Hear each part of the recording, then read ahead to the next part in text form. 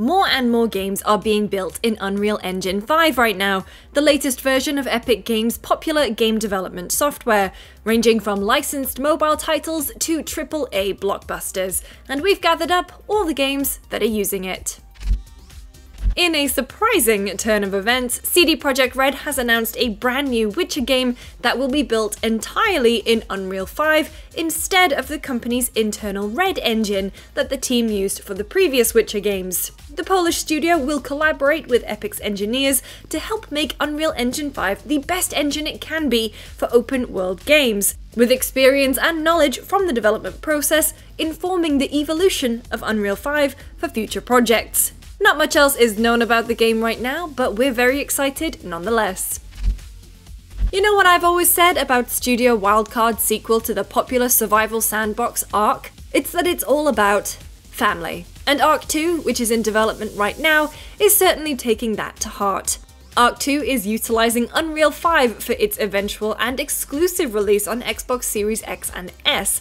The multiplayer game will star Fast and Furious actor Vin Diesel as the hero Santiago, with the Hollywood actor pulling a double shift as an executive producer on the game as well. It's just a shame they couldn't pull in Dwayne The Rock Johnson as well. I'm sorry. Ashes of Creation developer Intrepid Studios confirmed a few months ago that it had migrated the game from Unreal 4 to Unreal 5. It's still early days for a project that is still in its alpha phase, but the studio has been incredibly transparent with fans of the upcoming game as to why and how they're making the change to Unreal 5, and the impact it will have on the game when it eventually launches. It'll still be a while before a new game in the Gears of War series is properly unveiled, but for now, developer The Coalition appears to have a firm grip on using Unreal 5 to create the title. During a presentation at GDC 2021, the Coalition revealed its first technical demo alpha point using the latest tools in Unreal Engine 5, which included application of the Lumen lighting system and Nanite, the engine's virtualized geometry system. In addition to that, the studio also showed off a character render demo within Unreal Engine 5 that was packed with all manner of small details. But after the cliffhanger at the end of Gears 5, we really hope we don't have to wait too long. Revealed back in 2020, Black Myth Wukong is easily one of the most exciting adaptations of the classic Journey to the West novel since Enslaved. Brimming with action and adventure, Unreal 5 has been used to deliver intense boss battles and impressive particle effects. The Dark Souls inspired game from developer Game Science doesn't have a confirmed release date yet, but everything they've released so far is looking pretty, pretty good. While there wasn't much in the way of concrete details when Dragon Quest XII The Flames of Fate was announced in 2021, Square Enix did confirm that the next chapter in the beloved long running RPG series would be shaking up the franchise. With Unreal 5 powering a darker tale of swords and sorcery, Dragon Quest XII series creator Yuji Horii hinted at darker themes, more open ended design, and impactful decisions that the player will be forced to make. Not much is known about the new Tomb Raider game other than it's being made by Crystal Dynamics and it will run on Unreal Engine 5. Work on the new Tomb Raider has only just started, according to the developer during Epic's State of Unreal briefing, after which they added, Our goal is to push the envelope of fidelity and to deliver the high quality cinematic action adventure experience that fans deserve from both Crystal Dynamics and the Tomb Raider franchise. While Unreal 5 is expected to be capable of creating epic and detailed worlds for games, the technology is also being used for titles with a cozier appeal. Take Dreamhouse, for example, a house construction simulator coming to PC and console in the future. Using Unreal 5, you'll be able to build sturdy structures, set up comfortable living spaces, and eventually call it a day on next gen beds. Unreal 5 is more than capable of creating impressive particle effects and lifelike human characters, but a thread count you can see on Gaming Linen? That's what really counts. You can also explore your creations in VR if you really want to get that Grand Designs experience. Echoes of the End is described as a single player RPG from Icelandic developer Myrkur Games and takes place in a world of myth and legend. As the hero Ryn, it'll be up to you to guide the warrior through large scale battles in a world that has been described as a blend of cinematic scope and rich narrative themes, all realised with Unreal 5 technology. You might not have heard of this hidden gem. Who am I kidding? It's one of the biggest games in the world. Epic's signature game Fortnite made a shift to Unreal Engine 5 with the start of Chapter 3 back in December 2021.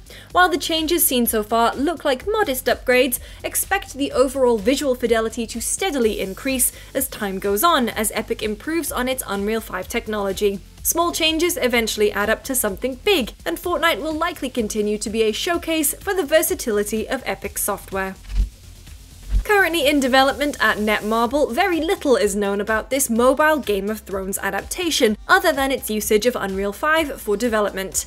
Netmarble has a history of producing solid adaptations of licensed properties, including Marvel, for mobile devices, and the studio revealed that it planned to deliver console level graphics while telling an original story in the fantasy world created by author George R. R. Martin. Let's hope the game ends better than the show did.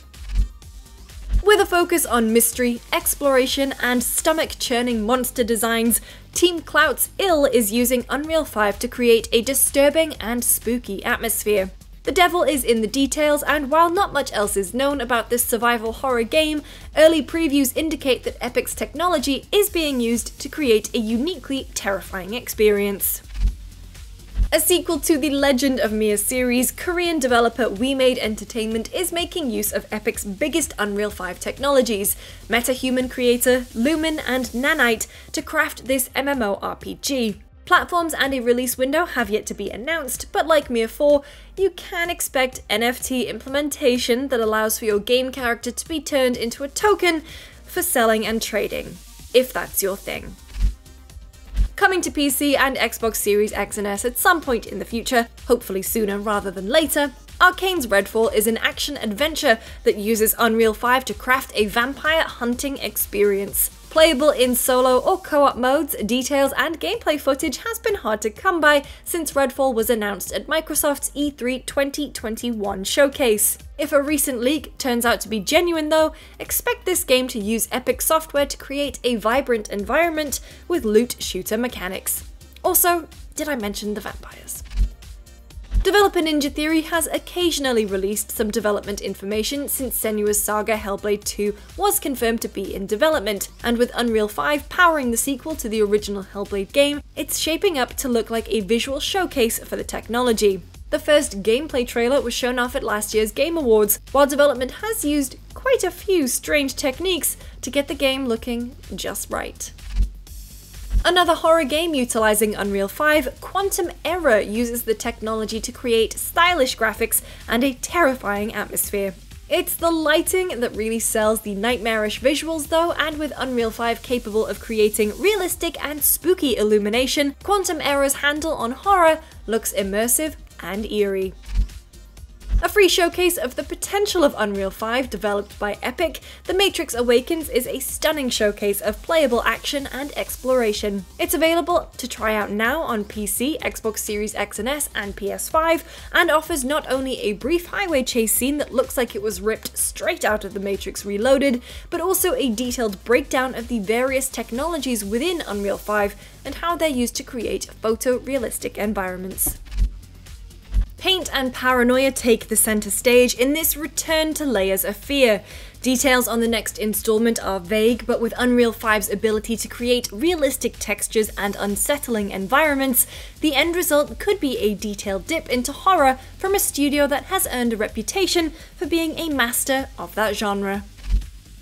Described as a unique time travel MMORPG from developer Etlock Studios, development on the game has been rocky as of late due to Russia's invasion of Ukraine. A new pre alpha session was held recently, and if you'd like to see how Unreal 5 is shaping the visual development of this ambitious game, you can check out an official teaser for Into the Echo that showcases some rich visuals.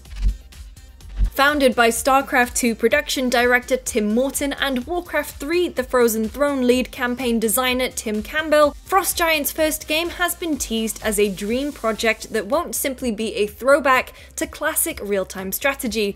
The studio has kept details under wraps for its in development game, but it has let slip that it'll be developing the RTS on Unreal 5 and that it's designed to be more approachable for newcomers to the genre.